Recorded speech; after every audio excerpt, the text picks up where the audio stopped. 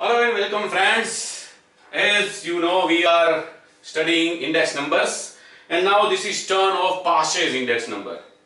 Yes, as we have already studied Laspeyres index number and we know that in case of Laspeyres index number the quantity of base year was in the center of calculation.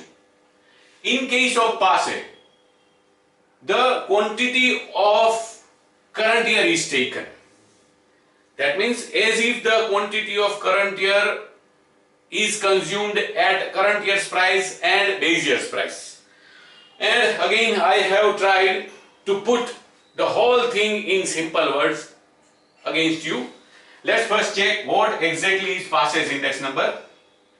The general price index number is the ratio or percentage of the current cost of the current quantity. That means the quantity actually consumed during the current year is considered at its current cost. 2. The base cost of the current quantity of all the items of the group. So this is the ratio of current cost of the current quantity that means current cost of the quantity consumed in the current year and the quantity consumed in the current year as if it is consumed at base year prices. Yes, current cost of current quantity to base cost of current quantity.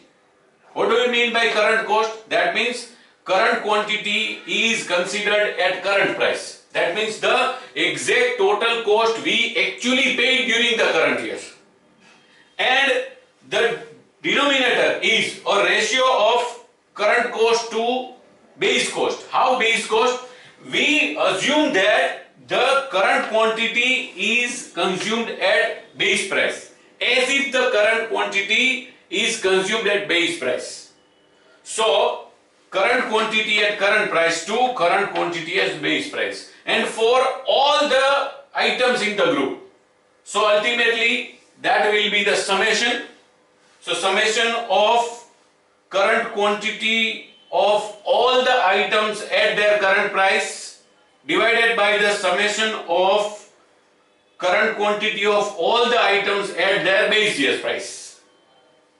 And therefore the formula is like sigma that is summation. Summation of cost of all the items in the group. Summation of what?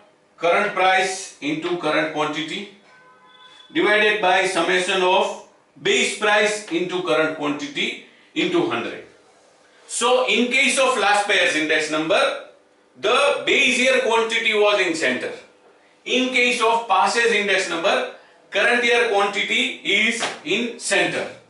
Laspeyres believed that let's compare the current year cost of base year quantity and base year cost of base quantity.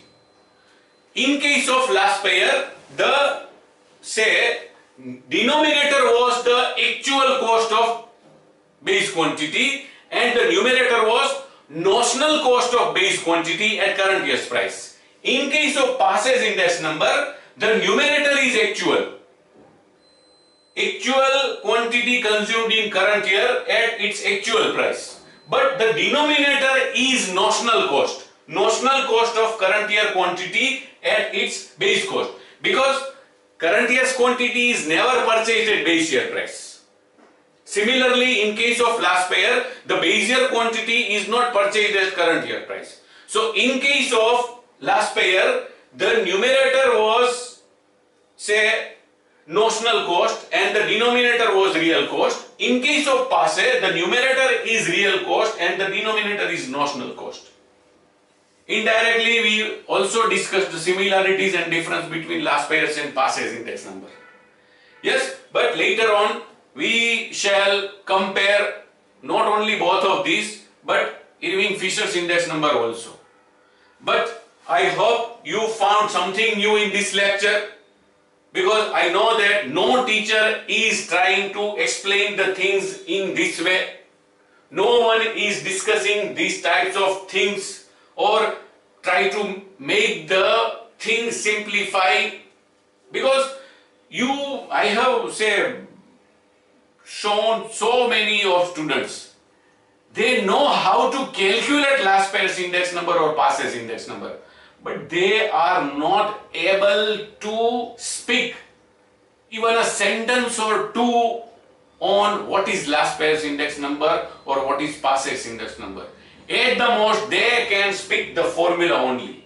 But as a teacher as a responsible teacher i know that if you learn the thing in correct way and understood it in correct way then you must be capable to explain it in few words.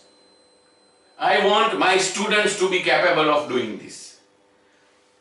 I hope this lecture was useful to you as usual. Don't forget to like it. Don't forget to visit and subscribe my channel.